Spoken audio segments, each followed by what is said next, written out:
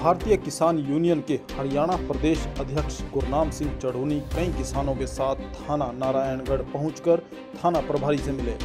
उन्होंने इस मौके पर प्रशासन को चेतावनी दी कि किसानों पर जो हत्या सहित अन्य धाराओं में मामला दर्ज किया गया है वह सरासर गलत है और सब झूठा मामला है। बीजेपी पार्टी के लोग ओछी हरकतों पर उतर आए हैं। कल उनकी रैली में भरत सिंह नाम के व्यक्ति की हार्ट अटैक होने से मौत हो गई है, जिसको किसानों द्वारा हत्या दिखाकर कत्ल का मुकदमा दर्ज कर दिया गया है।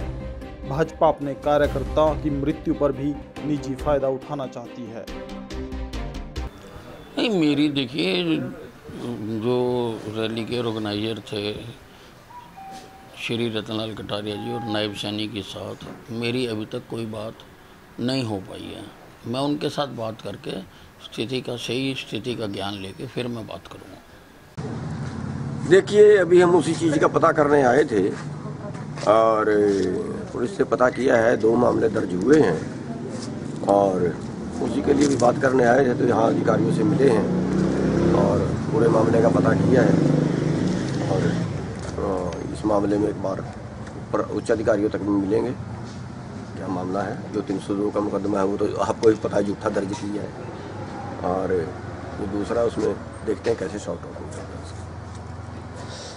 जो इस प्रकार से मामला दर्ज हुआ है क्या लगता है ये आपको?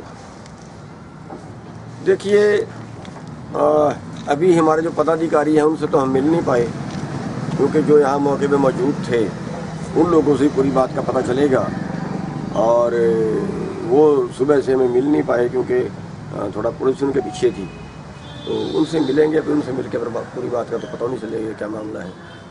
और लेकिन जो 302 का पर्चा दर्ज हुआ, वो बिल्कुल अन्याय है, गलत है, वो बीजेपी ने अपने ताकत दुरुपयोग देखो, जो भी आदमी गुजरा है, हमें दुख है उसका। माड़ा हुआ है। लेकिन ऐसे मामलों को भुलाना कि किसी कोई को डेथ हो, वहाँ पे होगी या किसी तरीके से फिर उसको भुला लिया जाए, वो भुलाना, ये सोच गलत है। ताज़ा अपडेट्स व बड़ी खबरों के लिए सब्सक्राइब करें आज प्रकाश टीवी और बेल आइकन दबाना ना भूलें।